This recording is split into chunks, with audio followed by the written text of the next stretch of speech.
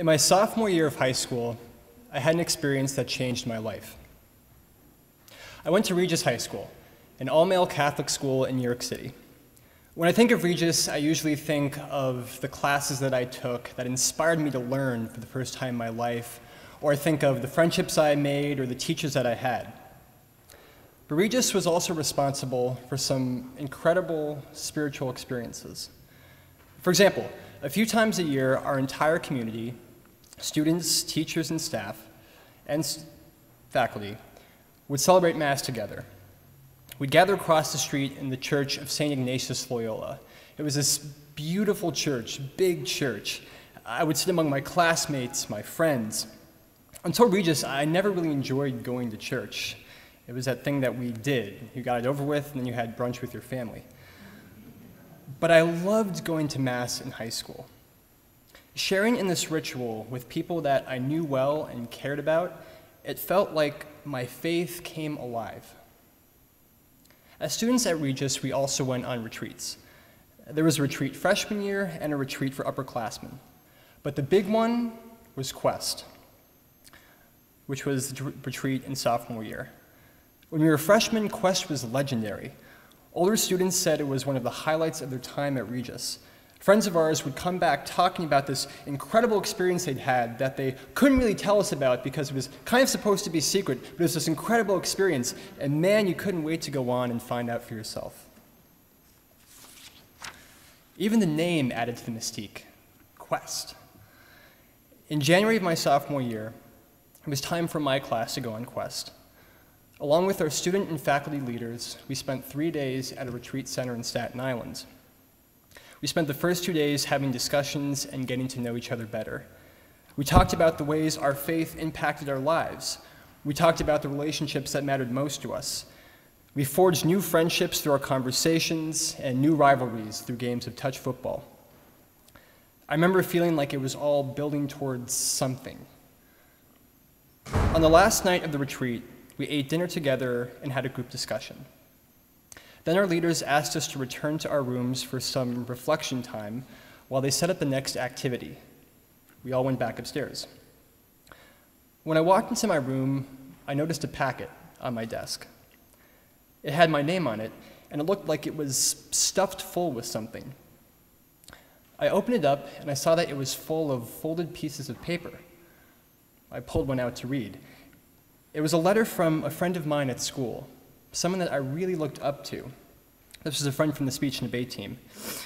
And he took two pages to describe how much our friendship meant to him, how much he enjoyed having conversations with me in the hallway, how much it meant to him that I always took the time to say hello, to thank him for his help in the team. I put the first letter down. I didn't expect to get anything like that, and it felt really good. I pulled out another letter, this one from one of my best friends at school. And then there were more letters and more letters. Letters from my family and my teachers and my friends, all of them thanking me for the ways I made a difference in their lives. Things that I'd never noticed about myself, things that I didn't know I did, they noticed and they thanked me for. I, I sat in my room for half an hour, maybe more, just reading through these letters, I was blown away not only by the immense love and gratitude I received, but by the awareness that every single day I touched so many people. You know, we all came back downstairs after we got our letters, and the next activity, we were asked how we saw God at work in our lives. And the atmosphere in that room was electrifying. I guess we all must have felt full of the love that we had received, but also felt connected to people in new ways. And we talked about the relationships that mattered most to us. From this experience, I realized something. Every single day, each and every one of us makes a difference to the people around us. We make a difference when we stop on the way to class to say hi to a friend. We make a difference when we ask how someone is feeling. We make a difference when we tell a story or crack a joke. In countless small ways, we enliven the people around us. We have so much power. We can change someone's mood, make someone's week, just by sharing our time, our humor, our passions, our concerns. Now, imagine if we set out every day to make a difference. Knowing this power that we have, imagine how much we could achieve if we look for opportunities to talk to other people, to learn from other people, to share ourselves with other people. How much could we give to other people? What kind of rewards could we reap? I want to tell you now about another time in my life the fall of my junior year at Williams. It was one of the busiest moments ever. I was taking classes in subjects I'd never taken before, classes that I struggled with. I was singing with my a cappella group and holding down a campus job. I was about to go abroad for a semester and I needed to get all of my documents in order.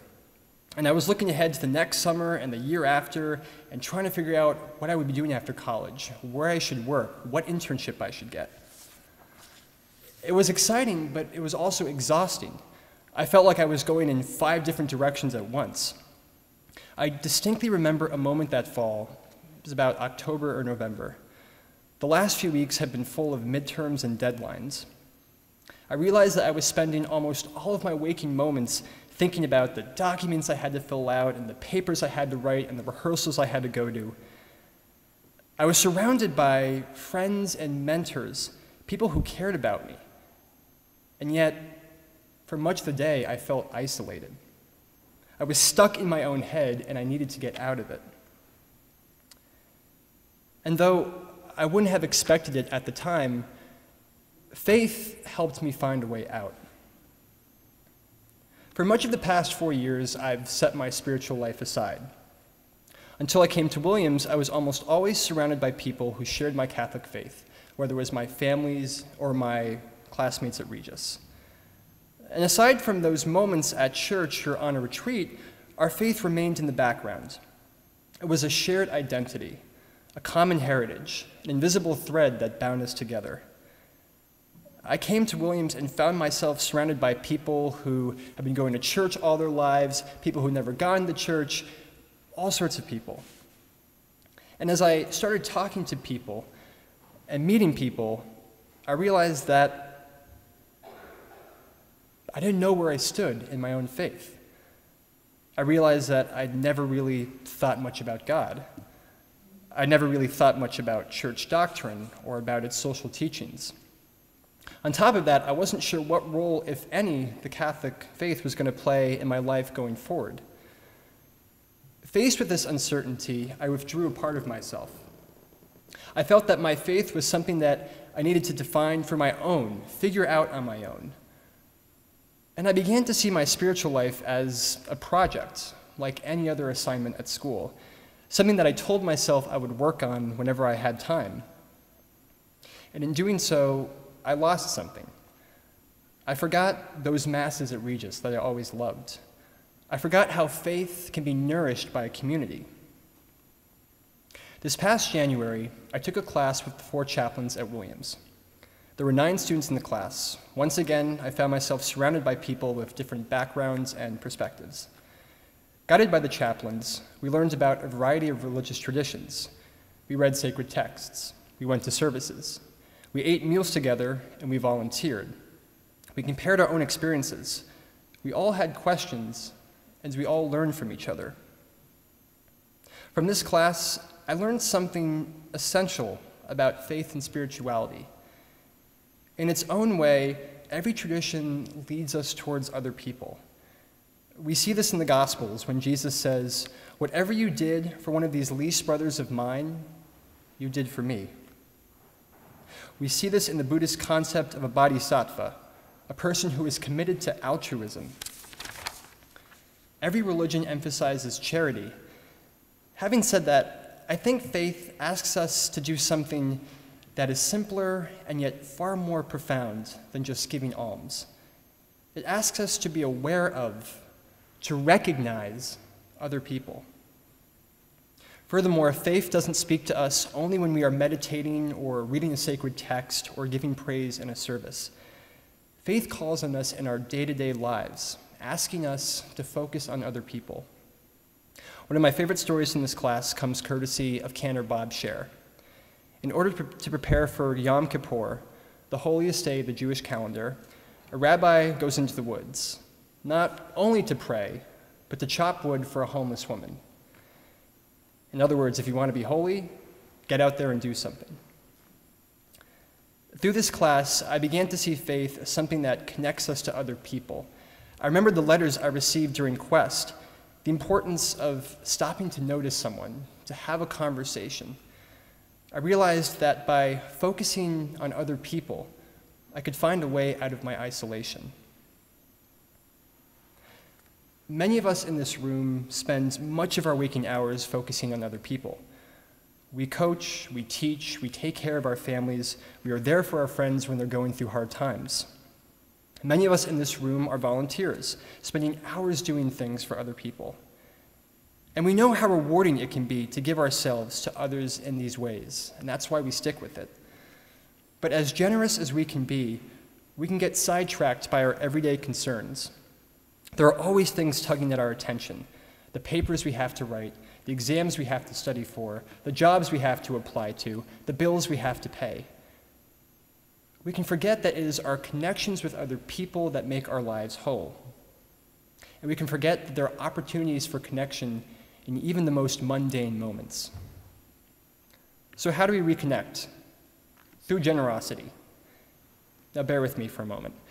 Generosity doesn't require large amounts of time or energy Generosity can be as simple as saying hi to someone on the street, recognizing that that person is there. The letters that I received on Quest taught me that there is potential for generosity in almost every moment of our lives. What I propose is that we find ways and moments in our everyday lives to focus on other people. Ask the person who swipes your card at the dining hall how his day is going and listen to the answer. Just really take that in. Make time for a conversation with your suite mate when you pass her in the hallway on the way to the bathroom. Maybe not on the way to the bathroom because that's a sensitive time, but you know, other times. Whenever you feel yourself becoming stuck in your own bubble, find a way to get out. Call your dad, knock on a friend's door, turn to the person behind you in the grocery store and ask, How about those grapes? How about these apples? My hope is that we can develop habits of paying attention and listening to each other. If we can do this, we can learn to live generously.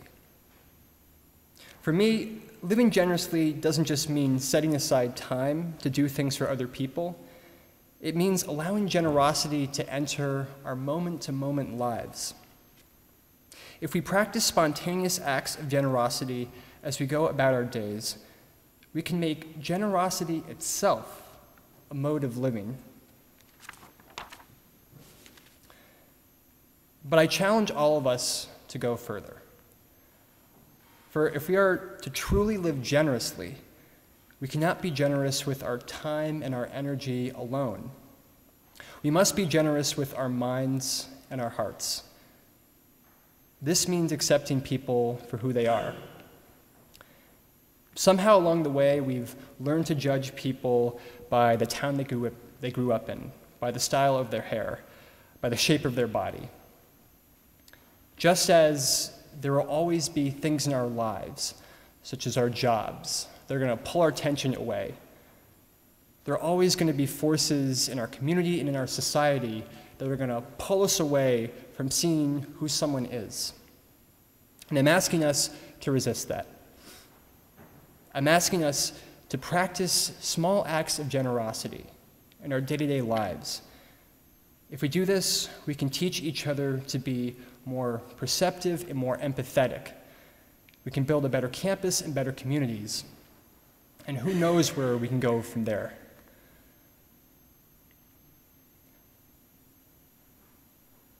Every moment has potential.